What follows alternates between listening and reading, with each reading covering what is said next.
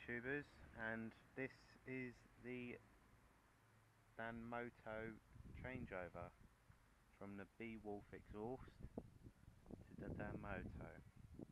I just thought I'd let you know what the B-Wolf sounds like before I change it over to the Danmoto.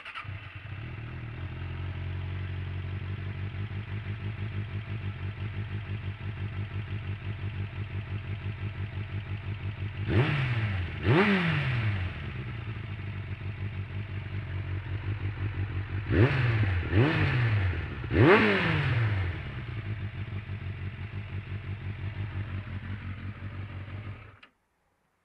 come back to you when uh, the Danmoto's on.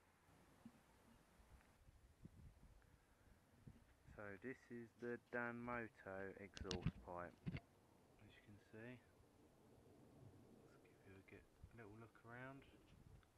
Danmoto sign, don't know if you can see that. There's the whole system. From here up to there. Now let's have a listen to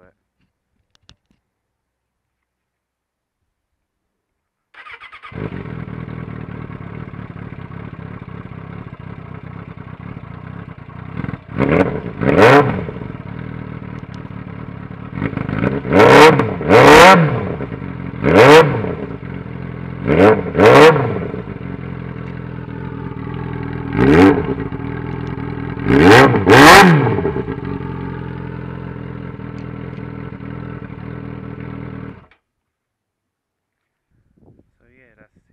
the Danmoto XG1 exhaust.